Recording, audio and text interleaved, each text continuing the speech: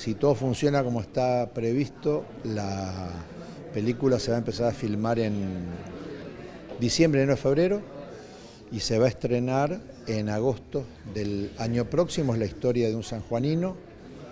Eh, es una historia que, tiene lugar a fines de los 70, eh, con un escenario en Rosario, en Funes, en las afueras de Rosario en, el, en Río de Janeiro, en el Distrito Federal, en La Habana, y la película se va a filmar en todos estos lugares, así que está en plena etapa de, producción y, de, ese armado tan complejo que, presupone llevar al cine un determinado texto. Es una historia muy conmovedora, un, hombre este, puesto ante la alternativa de de tener que hacer una elección entre dos opciones igualmente dolorosas, o, traicionar a la organización a la cual había dedicado él su vida, o traicionar a su compañera, este, o entregar a su compañera, entregarla a la muerte, él, eh, de acuerdo con, su compañera, en México, tratando de, fingiendo que iba a infiltrar a la conducción este, nacional de Montoneros, que vivía allí,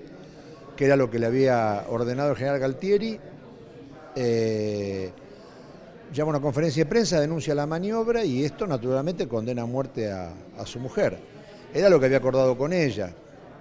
Eh, era un hombre que estaba profundamente enamorado. Pero esto tiene otra secuela porque luego la Conducción Nacional decide juzgarlo en La Habana, someterlo a juicio revolucionario por haber hablado con el enemigo y esto termina en que lo degradan, regresa a la Argentina, aquí muere presentando acá la, posibilidad de poder llevarla adelante con el autor, con el director y, bueno, y contando la historia de la vida de Tucho, que fue sanjuanino y nació aquí y estuvo hasta su adolescencia en San Juan. El libro de Rafael atrapa en lo que es la pasión de un militante en una historia de amor con su mujer, una historia muy dramática y un hombre que entregó su vida por lo que amaba en cuanto a su pareja y la militancia. Debutar con Tucho, que es una historia que me conmueve, que me apasiona, que es la historia de nuestro país, que es la historia de nuestra pasión y de cómo el amor nos mata y el amor nos da vida. Creo que bueno, es un gran desafío y, bueno, y va a ser mi desafío de, llevar adelante esta historia. Lo que vamos a hacer es un thriller.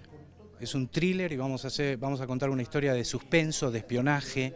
Es una película de acción, de acción interior de los personajes y de acción de verdad de estos personajes que empuñan armas y que se desafían a matar o a morir.